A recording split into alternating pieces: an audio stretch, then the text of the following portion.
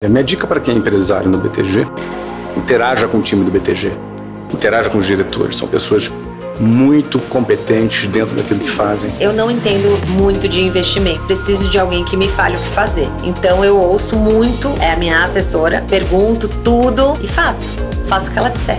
Ah, já tenho cinco anos já. Eu sou parceiro do BTG e que principalmente né, o banco cuida das, dos meus investimentos, não só meu, mas das minhas filhas também e da minha família.